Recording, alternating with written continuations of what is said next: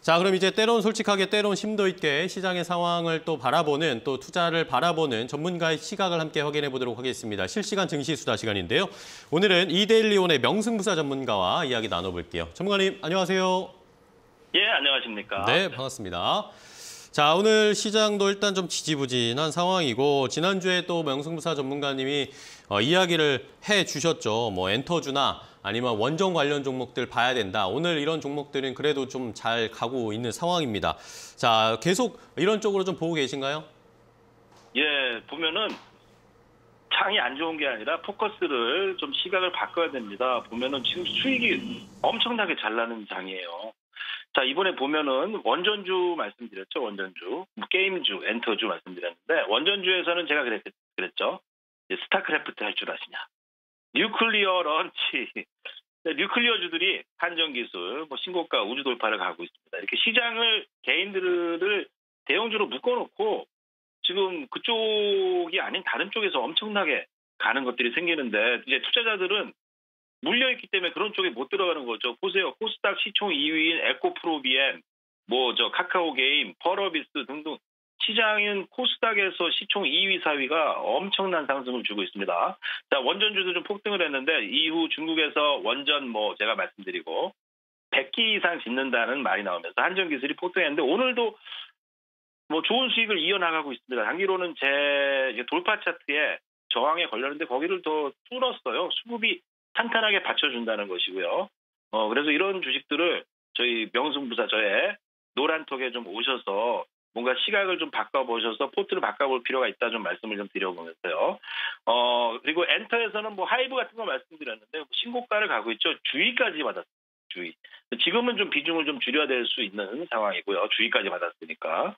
코스피에서도 시총 상위까지 올라갔죠.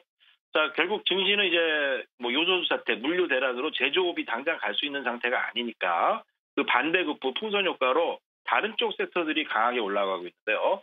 말씀드린 뭐 펄어비스, 하이브, 게임주나 엔터주 이런 것들이 주도주고 또 오늘 후발주로 어, 게임주에서도 새로운 애들이 막 나오고 있잖아요. 10%씩 급등하는 뭐 컴투스라든지 뭐 그런 것들이 계속 돌아가면서 오르는 거니까 아 저거 너무 오르는데 위험한 거 아닌가라는 생각하지 마시고 지금 주도주는 시장보다 강한 주식이다 좀 생각하시면서요. 비중을 쪼개서 그쪽을 더 보시라고 말씀을 좀 드려보고 싶습니다. 자, 어쨌든 의견을 제시 드리는 것이고 제 방송을 보고 뭐 투자하셨다면은 한전기술이고 뭐 펄어비스고 카카오 게임즈고 수익이실 텐데 어 뭐 계속 오르는 주식은 없습니다. 그래서 어느 정도 자신이 생각한 쪽에서는 또 차익도 필요한 것이고요. 하지만 지금 엔터주, 게임주, 원전주 그리고 에코프로비행 같은 에코프로벤 같은 코스닥의 어, 2차 전지 이런 주식들이 시장보다 강한 주도주인데요. 증시는 이제 또다시 제2의 한전기술이 나올 겁니다. 어, 열린 마인드를 시각을 좀 보시면서 주식시장에서 좀 오르고 있는 쪽이 어느 쪽인가 그쪽에 좀 동참할 필요가 있다. 이렇게 좀 강조를 드려보도록 하겠습니다.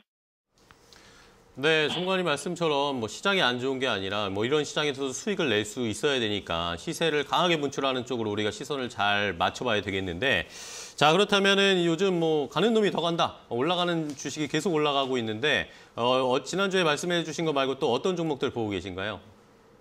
네, 신고가를 가는 주식은요 추세가 날카롭게 서서 그림이 이렇게 무섭게 가는 그림이어야 합니다. 네. 자, 그런 주식들이 이제 어떻게 말합니까? 겁나게 좋다. 속된 말로 네. 겁나게 좋다 하는데 그 겁나고 좋은 주식 그게 수익이 납니다. 음. 자, 겁나고 좋은 주식 하나 또 말씀드려본다면요. 제가 우리 또 김수호 아나운서님께 지난번에 여쭤봤죠. 네. 골프 줄 아시냐고. 음. 자, 이 골프존도 요즘 보면은 오늘은 좀 조정이 나오고 있지만 뭐 겁나고 좋은 주식이 아니다. 한마디로 어, 겁나 좋은 주식인데 투자자들은 이 정도 오르면 이제 많이 올랐다고 생각하면서 투자를 꺼립니다.